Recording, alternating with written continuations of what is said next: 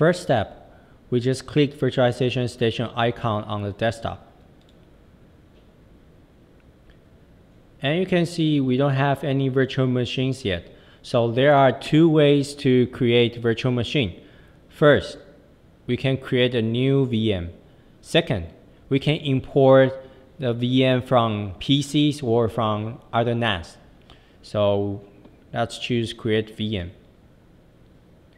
And you can see a template from system default, which can help us to choose the most common configuration options.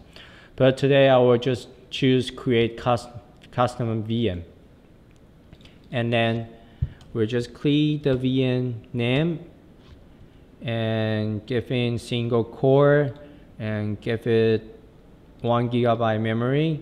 So we don't really need to set out a VNC password. And then we, we can choose CD image such as ISO file, but today I will just choose HDD image and click the folder. Already put in the WinXP image on the NAS, so just choose WinXP image, then create. Click create.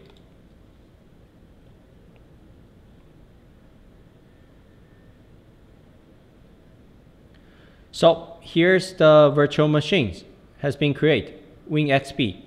And the second way is import. Let's create import. So there are three ways you can import NAS file.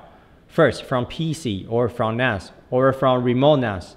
Today I will just choose from remote NAS. So just key in the IP address and username password, then click connect there's a window will pop out. It shows the remote NAS folder. And choose Win7. There's a Win7 VM files. Just click it and apply. Then click next.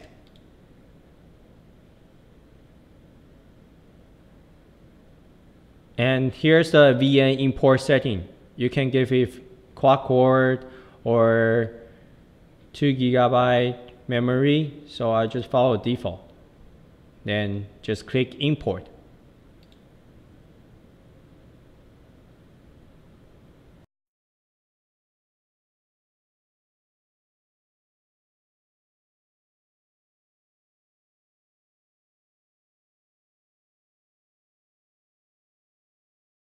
Import Win 7 VM has been completed. And um, here's, we click VM list, VM info. So you can see we have Win XP and Win 7 on our VM list.